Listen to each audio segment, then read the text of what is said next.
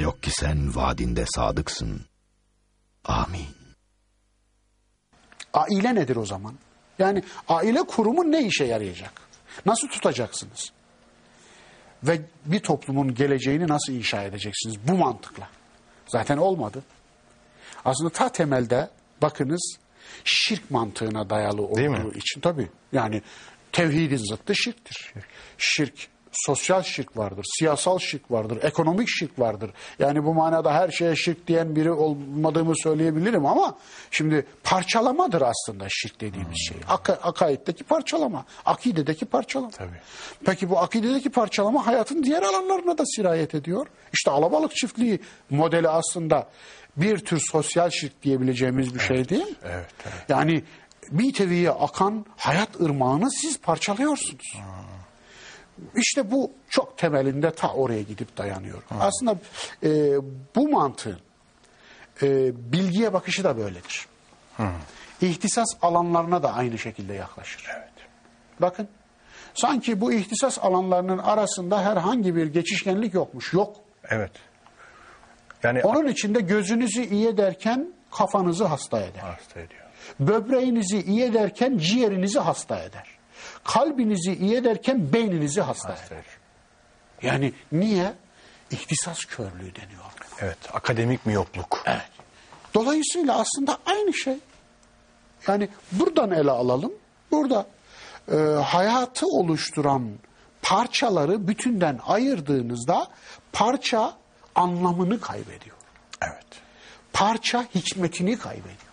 Tabii. O zaman parça bütüne ait olduğu yerde durduğunda gördüğü işlevi bütünden ayrıldığında ters manada görüyor. Yani ma caveze haddehu inqalabe dıddahu. Evet.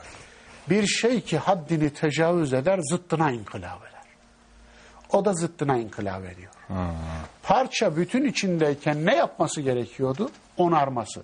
Bütünden ayrılınca diğer parçaları da hasta ediyor. Hasta etmeye başlıyor. Hocam bizim zihnimiz vahyin inşa ettiği bir zihin olmadığı için umumiyetle yani genel anlamda toplumsal manada söylüyorum. e, gençliğe, insan hayatına bakarken biz parçalı buçuklu bakıyoruz. Ve bugün özellikle popüler psikolojinin ve hatta psikolojinin penceresinden bakıyoruz. Psikoloji diyor ki 12 ila 26 yaş arası ondan sonra genç. Gençtir diyor. İşte 12 yaş aşağısı çocukluktur diyor. Onu çocukluğu kendi içinde kısımlara ayırıyor. Bir takım dönemleri var onun fallik dönem, işte oral dönem vesaire diye ayırıyor.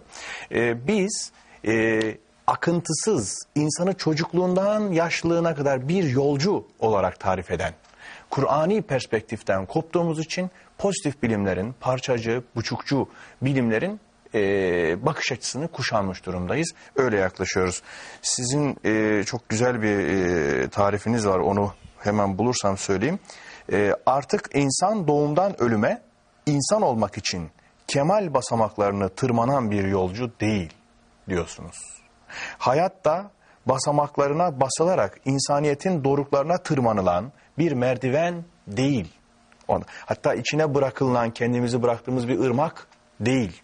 Ondan sonra e, yani birbirinden kesilerek kopartılmış ve merdiven özelliğini yitirmiş ayrı ayrı basamaklar. Müstakil basamaklar. Herkes bu basamakta bir şekilde bir yerlerde konaklıyor.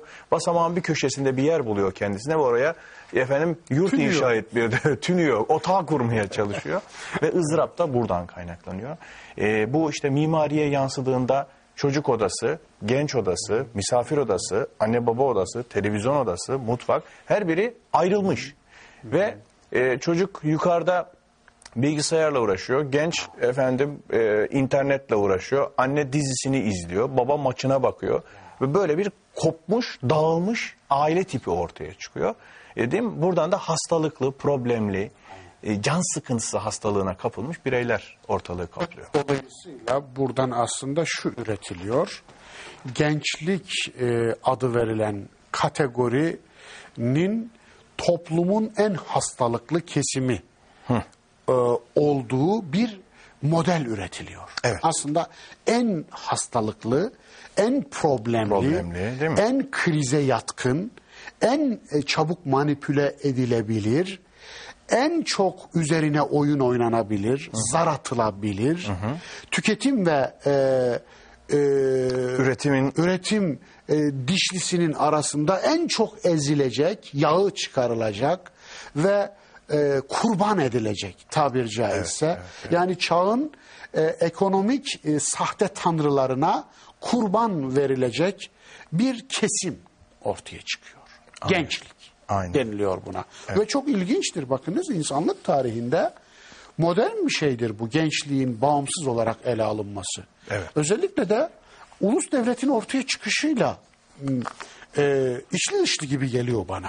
Yani Fransız ihtilali. o nasıl hocam o bağlantıyı bir kuralım. İlginç bir nokta çünkü. Şimdi e, Yani sosyal toplumun oluşumuyla evet gençliğin e, kopması arasında irtibat kuruyorsunuz. tabii kadim önce kadim şeylere bakalım.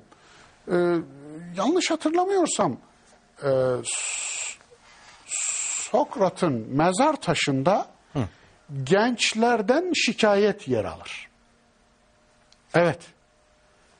Gençleri ayarttığı iddiasıyla öldürülen Aynen Sokrat. öyle. Atina'nın gençlerine oynadığı ve tüm hitabını hemen hemen gençlere yapan Sokrat'ın mezar taşında gençlerden ciddi şikayet cümleleri yer alır. Allah Allah. Evet.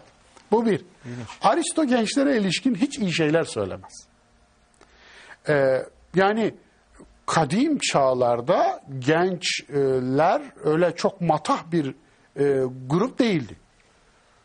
Allah Resulüne geldiğimizde e, vahyin inşa ettiği aklın nasıl baktığına baktığımızda Allah Resulü gençliği hayatın e, içinde bir e, unsur ve e, yüreği kandil gibi mescitlerde asılı olan olarak tarif ediyor. Yüreği kandil gibi mescitlerde, Mescitlerde asılı. asılı olan kesim olarak. Ve e, Allah Resulü'nden yaşlı bir dizine anca sahabi görüyoruz. İlk e, e, eğitilen iman e, e, hamlesinin e, altına omuz veren insanlar arasında. Evet. Yani çok görmüyoruz. Yaşlılar daha az, gençler daha az. çok. Yaşlar çok az. Çok az. Çok az. Bunun Yaşlar hikmeti ne? direniyorlar. Bunun sebebi hikmeti ne Selman hocam? Farisi e, gibi bir avuç insan görüyoruz. Yoksa onun gerisinde Efendimiz'den hemen hemen çoğu genç ama birçoğu çok çok daha genç. Ee, Efendimiz e, la feta illa Ali la seyfe illa Zülfikar. Yani genç yok ancak Ali var. Yani Ali gibi genç yok. Maşallah. Aslında buradaki genç tam da genç diye çevrilmez. Feta. Feta. Genç demektir. Fakat delikanlı vurgusu vardır içinde. Hatta o konuda e, bir e, gramatik e, notlarım da vardı. E, fütuve. Fütuve. El fütuve. Gençlik. Fütuvet- Fütüvet teşkilatı oradan gelir. Teşkilatı oradan geliyor. evet. Ve İslam ıstılahında gençlik için kullanılan kavram budur. Mesela şab Şahap gençtir. Şebabe gençliktir. Fakat bu ıstılah olarak hiç kullanılmaz. Ne efendim e, İslam ahlakında, ne İslam kelamında, ne İslam tasavvufunda yani hiçbir e, bilgi sistemimizde bu kullanılmaz. Feta kökü kullanılır. Evet. Bu da Kur'an'da kullanıldığı için sanırım. İki yerde kullanılır. Bir Hazreti Musa'nın delikanlısı evet. e, o e, delikanlısı yani Yanındaki- e, yanındaki e, feta e, Yuşa bin Nun. Evet, Belki hemşehrimiz bile desek olur Yuşa tepesinden dolayı. İkincisi de Hazreti İbrahim'e müşrik kavim feta der. Evet.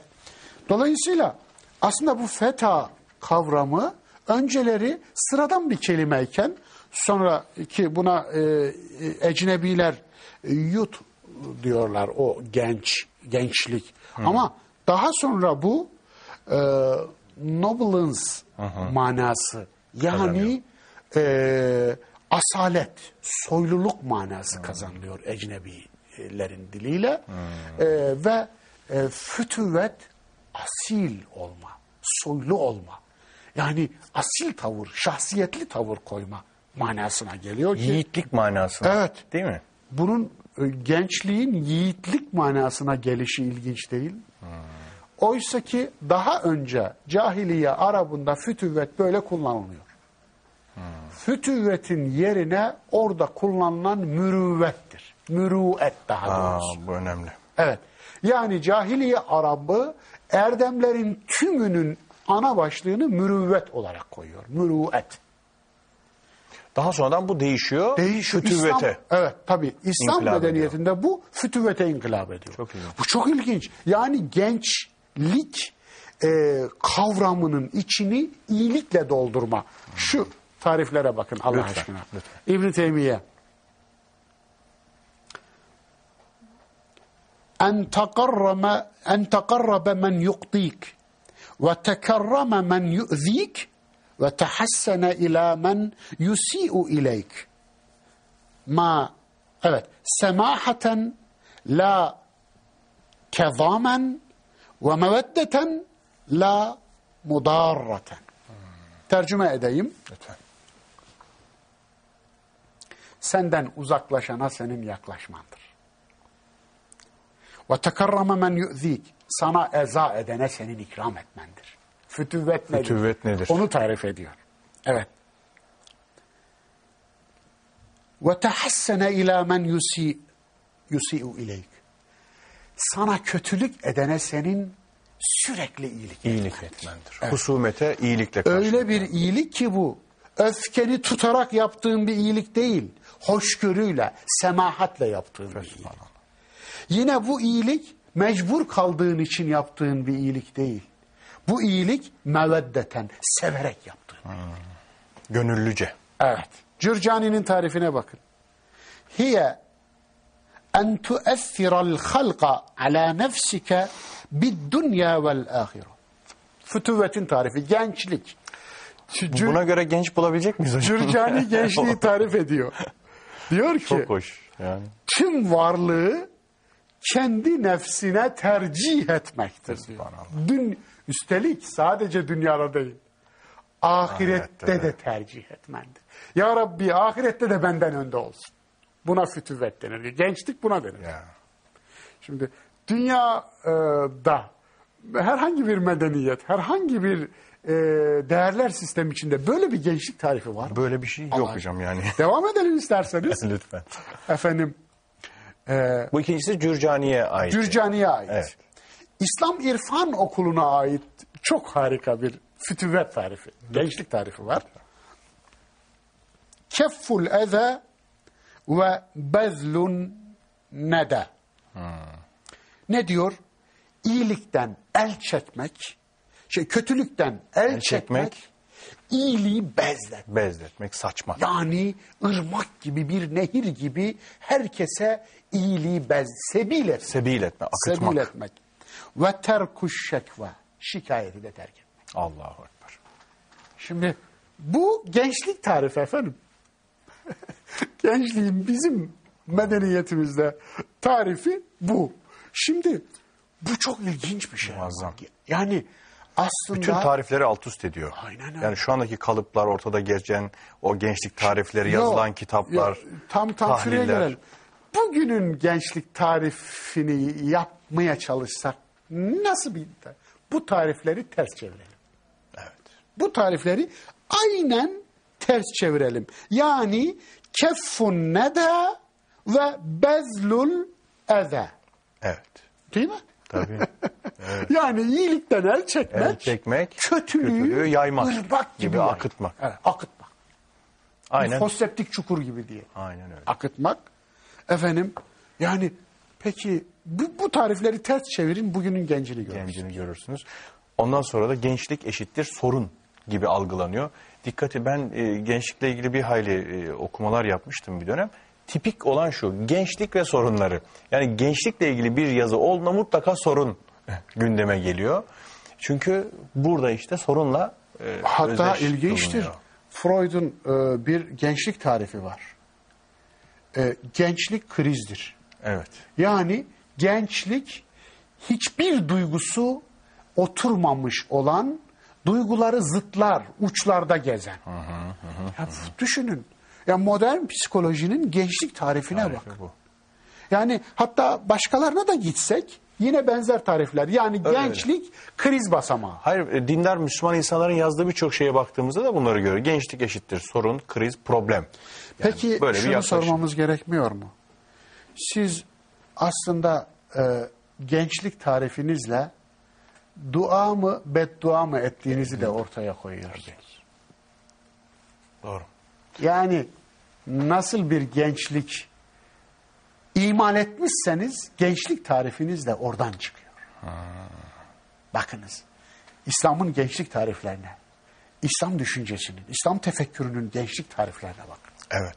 Hocam güzel bir noktadayız. Ee, kırılma noktaları bunlar. Bu noktaları biraz düşünelim biz. Birazdan e, Kur'an'ın ve Hazreti Peygamber'in gençliğe yüklediği anlamlar konusuna bu çerçevede devam edelim. Sevgili izleyicilerimiz de biraz düşünsünler, üzerinde kafa yorsunlar. Ee, hem bir hazım olsun inşallah. Kısa bir aradan sonra devam edelim. Efendim Vahyin Penceresi'nden devam ediyor. Bugün gençliği konuşuyoruz. Mustafa İslamoğlu hocamla beraber. Biraz sonra tekrar huzurlarınızda olacağız.